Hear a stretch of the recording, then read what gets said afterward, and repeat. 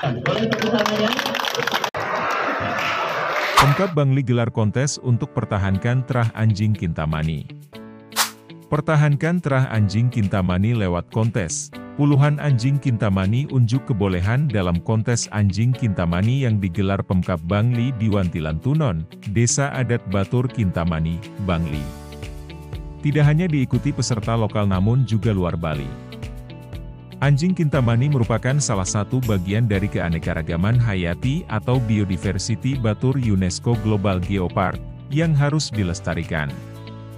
Selain itu anjing Kintamani telah diakui oleh Federasi Cinecologi Internasional yaitu organisasi internasional yang membawahi organisasi terah anjing seluruh dunia.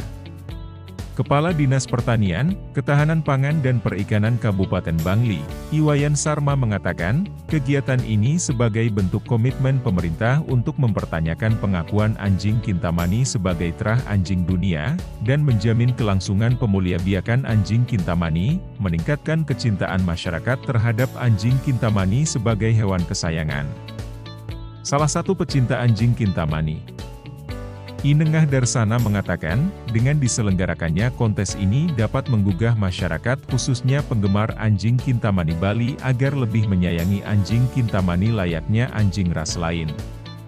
Mengingat anjing Kintamani jika dipelihara dengan perawatan yang baik, akan mampu menunjukkan inteligensi dan penampilan yang tidak kalah dengan anjing ras lainnya. Meningkatkan kecintaan masyarakat terhadap anjing Kintamani sehingga anjing kita mani ini bisa menjadikan salah satu sebagai hewan kesayangan. Tentunya manfaat ekonomis yang kita dapatkan baik dari mengembangbiakan anjing kita mani itu sendiri maupun dari kegiatan dan kontes itu.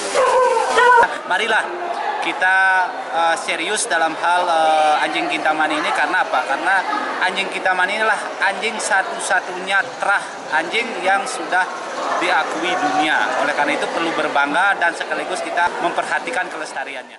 Dalam kegiatan juga diisi peluncuran program inovasi daerah Tisira Plus, tim siaga rabies plus, yaitu pola penanganan penyakit rabies dengan menitik beratkan peran aktif masyarakat dengan pembentukan tim di tingkat desa. Sehingga antara pengembangan anjing kintamani dengan penanganan virus rabies bisa sejalan.